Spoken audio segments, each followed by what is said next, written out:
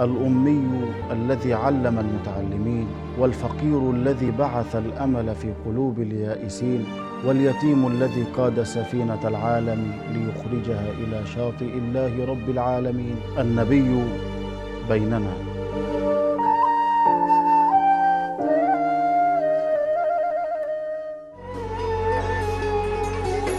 برنامج النبي بيننا مع فضيلة الشيخ أحمد البصيلي.